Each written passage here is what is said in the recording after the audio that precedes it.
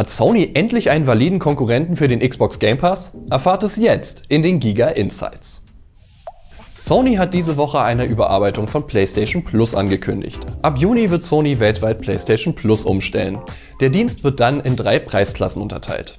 Die günstigste PlayStation Plus Essential kostet 8,99 Euro monatlich und unterscheidet sich nicht vom aktuellen PlayStation Plus.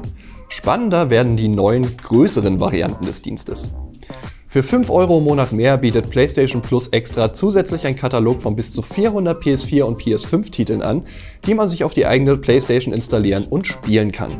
Darunter sollen auch große Titel sein wie God of War, Death Stranding oder Spider-Man Miles Morales. Für weitere 3 Euro mehr im Monat, also 16,99 Euro, könnt ihr euch PlayStation Plus Premium holen. Dort gibt es zusätzlich 340 Titel von PS1, PS2 und per Cloud Streaming von der PS3. Und PSP wer auch immer das macht. Könnte PlayStation Plus also Sonys Antwort auf den Xbox Game Pass werden? Zumindest stehen die Zeichen gut. Es gibt eine größere Auswahl, es muss sich nun nur noch zeigen, wie viele Perlen wirklich unter den 400 Titeln schlummern. Eine offizielle Liste der Titel gibt es nämlich noch nicht.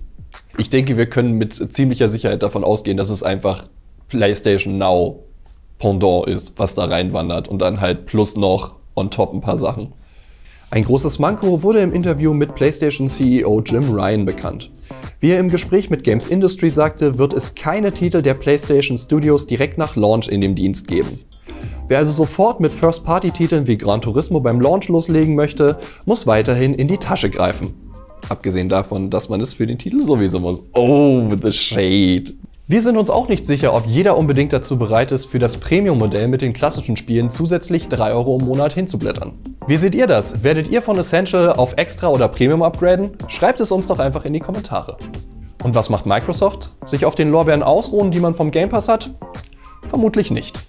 Wie Windows Central berichtet, arbeitet Microsoft offenbar an einem Family-Plan für den Game Pass, mit dem man einen Account mit mehreren Familienmitgliedern teilen kann. Das ergibt gerade für Game Pass Ultimate Sinn, wenn man also nicht nur die Konsole im Wohnzimmer nutzt, wo man sich ja im Zweifel auch einfach so einen Account mit dem Game Pass teilen kann, sondern auch noch anbei einige PCs besitzt, die mit dem Game Pass mit neuen Titeln beliefert werden.